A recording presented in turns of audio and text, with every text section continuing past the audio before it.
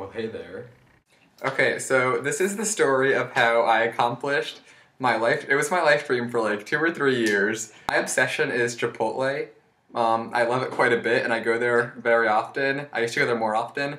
So for the longest time, my my life goal was to go to Chipotle and buy a margarita. I was like 15 when I got this obsession, and I couldn't get a fake ID. First of all, because I look like I'm a middle schooler, and second of all, because I'm not like badass enough to get a fake ID. I live in Connecticut. I don't know where I would have gone.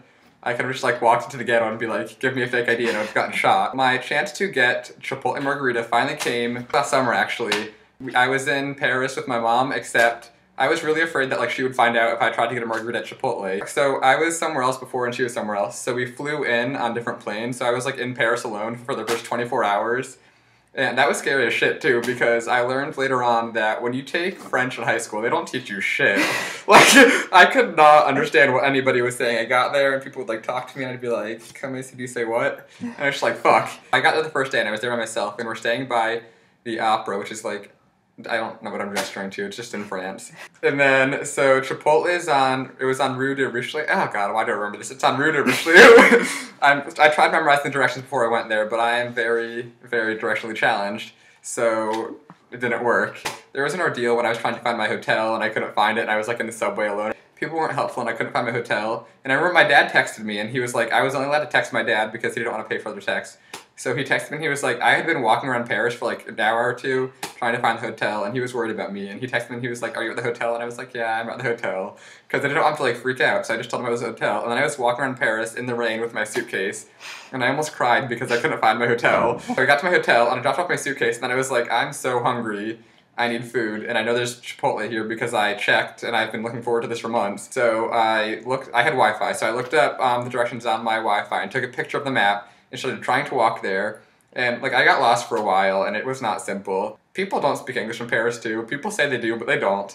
Um, so I was walking down the Rue de Richelieu where I knew the Chipotle was, and felt like I could not find it. And finally, in the distance, I see the big Chipotle sign, and it is not like Chipotle's in America. First of all, it is like two stories. They have like the first story, and then they have the upper story, which is like a big glass paned window. So you can just like it's like an overlook as you're eating overlooking Paris, and it's the coolest thing. So I got there and their door kind of looks like the Apple store, it's just like a big glass box. And I couldn't figure out how to get in. I was kind of like, I was like feeling around their door because I couldn't figure out how to get into their building. I was like, I just need Chipotle right now. So I was like feeling the door, and I thought it was an automatic door, and like, fine, people were looking. It's a glass door, so people were watching me.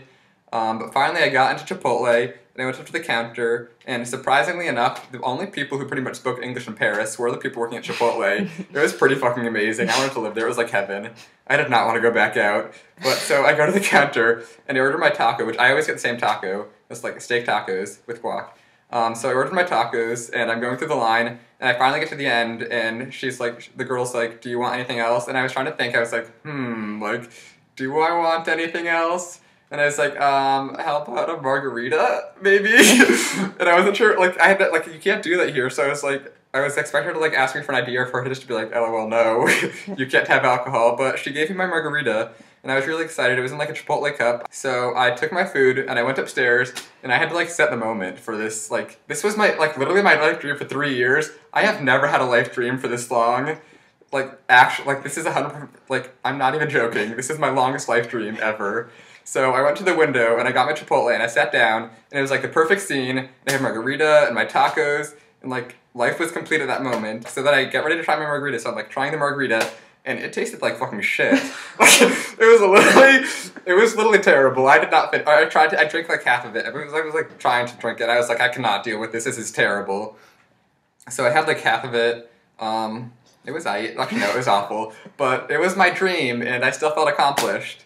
And then I had to leave Chipotle and go back to Paris to a hotel room alone where nobody spoke English and there was no Chipotle. And that was pretty depressing, but it was all worth it because I got my Chipotle margarita.